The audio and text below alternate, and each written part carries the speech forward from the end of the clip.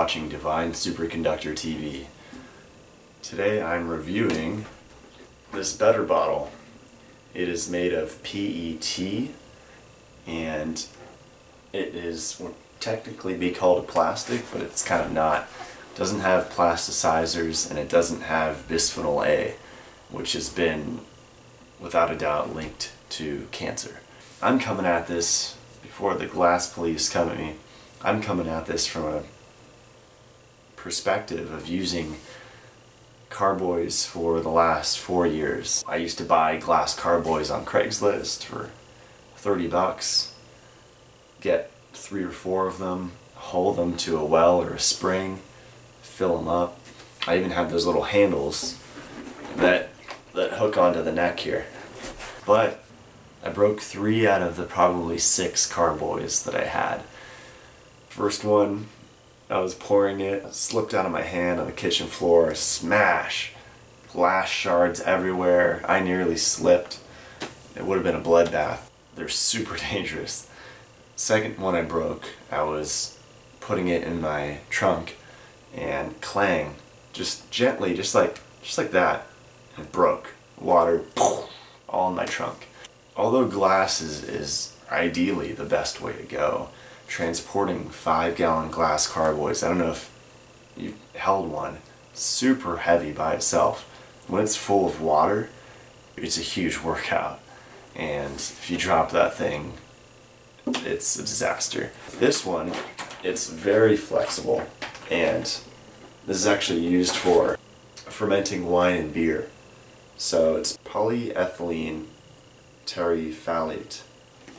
So even though it has phthalate in the name, it doesn't mean there's phthalates in it. I can go into the chemistry of it, I can go into all the different things, but, but really it's best to just look at the studies yourself if you're skeptical.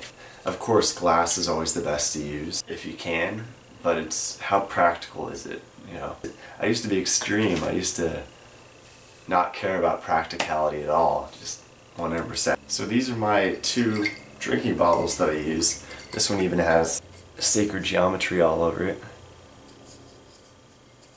These are Miron violet glass bottle. These only let violet light and far infrared in it. It preserves the contents. Some people even feel that these structure the water, just setting it in the sun.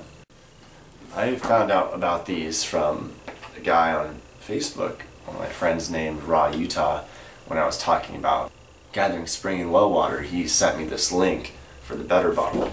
And if you're interested in checking them out, the website is better-bottle.com. These don't let oxygen or carbon dioxide in. So if you go to that website, they'll cite all the studies, they have in-depth pages on everything. Until we have plastic made out of hemp or cannabis, this is the best we're going to do.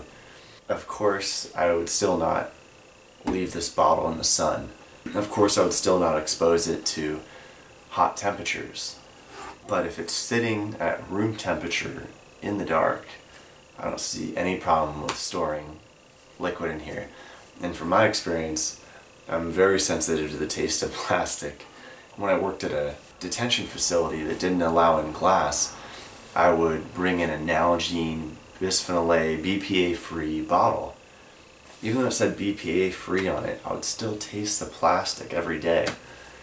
The scary thing is, over time, if you use one of those bottles, you'll find that you taste the plastic less and less as time goes on.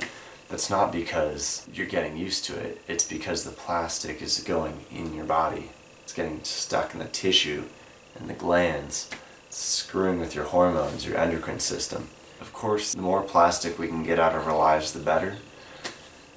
But I just use this as emergency storage, transporting if I go on trips, if I am able, I'll bring glass gallon jug, just as, as much glass as I can safely transport. You're not to stick with something if it's not practical and if it's too much effort.